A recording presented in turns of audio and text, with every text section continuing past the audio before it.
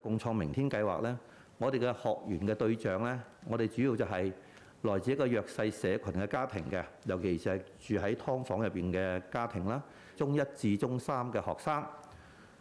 咁學員嘅名額咧，我哋而家係定咗係兩千名啊。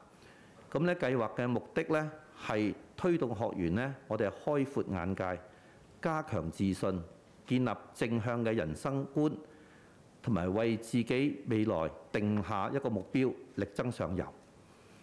咁計劃嘅年期咧係為期一年嘅，因為呢一個咧係一個嘅試驗計劃。我哋喺呢個計劃一路做嘅時候，我一路會檢討。咁喺之後咧，我哋係會優化我哋呢個計劃。我哋係將來係會擴大我哋呢一個名額嘅，會係每一個嘅誒學生咧，我哋係會配對一個義務嘅師友俾佢。咁每一位學生咧，我哋係會誒俾一萬蚊，就分兩次去俾。第一次咧，佢參加咗之後咧，呢個有師咧係會指導佢點樣去使用呢五千蚊。咁完成咗一年嘅計劃之後咧，我哋會再俾五千蚊嘅獎學金。呢個五千蚊嘅獎學金咧，呢個學生我係可以自行去決定點樣去使、點樣去用嘅。我哋有師嘅招募咧，我哋有啲條件嘅。嗱，一般咧我哋都要二十一歲以上啦。咁我哋就誒較年輕者優先。咁當然佢哋都能我係在職啦，同埋能夠咧喺職場裏邊咧安排一個工作影子嘅活動。所謂工作影子者就係咧，佢係要有機會安排到呢啲細路仔咧，能夠跟佢翻工，能夠睇下佢平時翻工嘅情況係點，等呢個細路仔學習到喺職場工作嘅情況係點嘅。佢哋可能要分享俾佢嘅咧，就唔係咧誒每一個人都一帆風順嘅。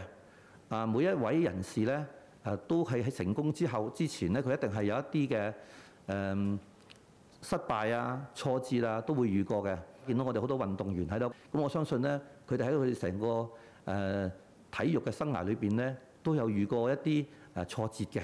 咁佢應該教佢哋點樣去面對呢啲挫折嚇、啊，繼續向上。